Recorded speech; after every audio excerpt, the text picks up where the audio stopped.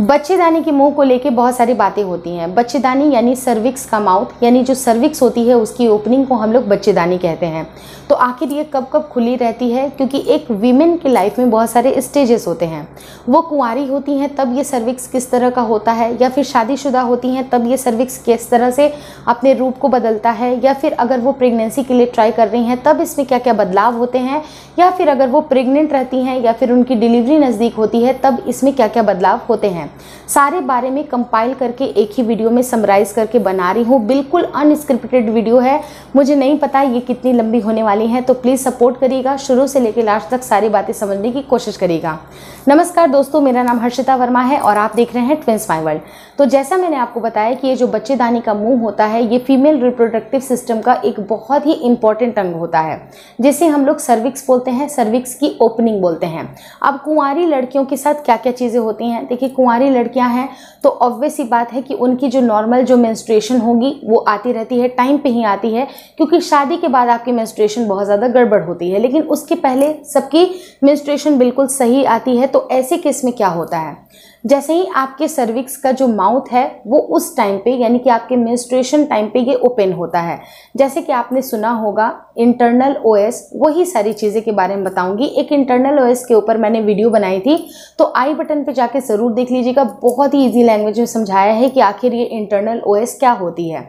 तो जो उनके पीरियड का जो ब्लड होता है, वो शरीर के अंदर कलेक्ट ना हो जाए, इसलिए मेंस्ट्रुएशन के दौरान उनकी ये जो सर्विक्स की ओपनिंग है, वो खुल जाती है और उनके प्राइवेट पार्ट के थ्रू ये सारे जो ब्लड होते हैं टिश्यूज़ होते हैं म्यूकस होते हैं, वो सब कुछ इस दौरान निकल जाता है। यानी कि जिस समय तक आपका पीरियड आता है, जिस समय तक ब्लीडिंग आती है, उस समय तक आपके सर्विक्स का मुँह खुला होता है और पीरियड बंद होने के बाद ये ऑटोमेटिकली बंद हो जाता है, ताकि कोई भी अदर इन्फेक्शन आपके शरीर में प्रवेश ना कर पाए। ये आपने बातें समझ ली। अब रही बात शादीशुदा जो लेडीज़ होती हैं, उनके साथ क्या होता है? तो देखिए, शादीशुदा जो लेडीज़ होती हैं, उनका ओवल्यूशन टाइम पे। अगर वो रिलेशन प्लान करती हैं तो जो हस्बैंड के सेल्स होते हैं वो बाहर रहते हैं तो उनको एंटर होने के लिए, यानी कि उनके शरीर में प्रवेश होने के लिए, ये जो सर्विक्स का माउथ है, ये ओपनिंग होती है बच्चेदानी की, वो उनके ओवल्यूशन के टाइम पे ये ओपन होती है। ऑब्वियस ही बात है कि पीरियड के टाइम पे भी होगी, लेकिन सारी बातों को मैं समझा रही हूँ तो आप समझ पाइएगा। उनको भी पीरियड होते हैं तो आप कन्फ्यूज़ मत होइएगा कि उनको पीरियड के टाइम पर नहीं होगा। पीरियड के टाइम पे भी खुलेगा, लेकिन वो जब रिलेशन प्लान करती हैं ओवल्यूशन के टाइम पे तो जब उनका ओवल्यूशन हो रहा होता है, तब भी उनके सर्विक्स का माउथ खुला होता है, क्योंकि फ़िज़िकल जब रिलेशन अगर आप बनाते हैं, उसके बाद जो मेल के सेल्स होते हैं, उनको एंटर होने के लिए, उनको फर्टिलाइज करने के लिए जो एग होता है, उसको फर्टिलाइज करने के लिए मेल के सेल्स को अंदर आने के लिए सर्विक्स का माउथ का खुला होना बहुत ज़्यादा ज़रूरी है। अगर सर्विक्स का माउथ नहीं खुला होगा तो प्रेगनेंसी कंसीव नहीं होती है। तो अगर वो ट्राई करना चाहती हैं तो उनको ओवल्यूशन डे के समय ही रिलेशन प्लान करना चाहिए। इस समय सर्विक्स का माउथ खुला होता है और काफ़ी आसानी से आपको गर्भधारण होगा। अगर आप गर्भधारण करना चाहते हैं, आपको नहीं पता चल रहा है कि आपका ओवल्यूशन कब कब होगा तो ओवल्यूशन के सिम्टम्स आपको आई बटन पे या फिर एंड स्क्रीन पे या तो डिस्क्रिप्शन में आपको ज़रूर मिल जाएँगे। तो देखना मत भूलिएगा।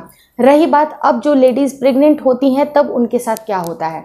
तो जैसा आपको पता है कि जब उन्होंने प्रेगनेंसी कंसीव कर ली, यानी जो मेल के सेल्स होते हैं, वो अंदर तक पहुँच गए एग को वो फर्टिलाइज कर दिया। उसके बाद इस बच्चेदानी का कोई भी रोल नहीं होता है ड्यूरिंग द प्रेगनेंसी यानी कि प्रेगनेंसी के पूरे नौ महीने।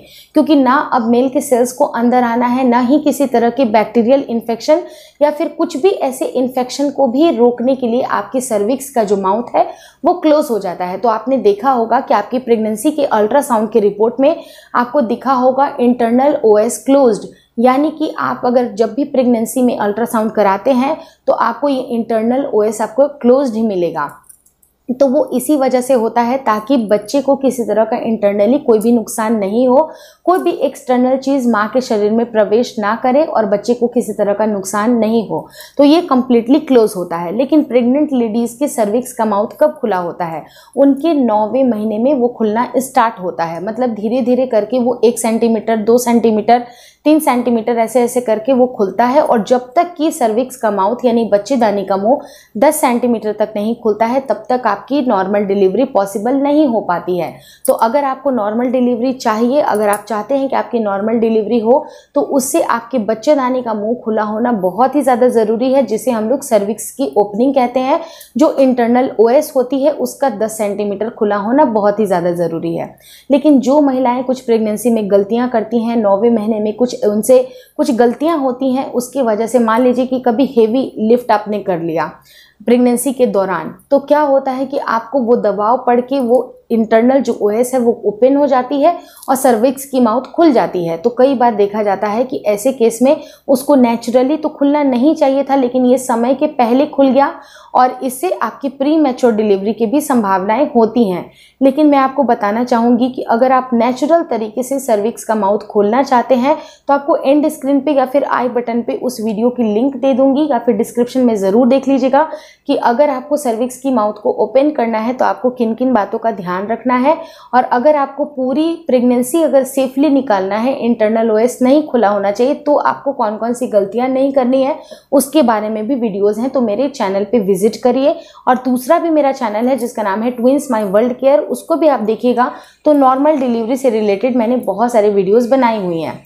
तो जैसा मैंने आपको बताया है कि इस तरह से उसकी ओपनिंग खुलती है, लेकिन नेचुरल अगर तरीके की बात की जाए, अगर कंप्लीट जो जेस्टेशन पूरा हो जाता है, आपकी प्रेगनेंसी नौ महीने कंप्लीट हो जाती है, उसके बाद ये खुद ब खुद ये 10 सेंटीमीटर तक खुलता है।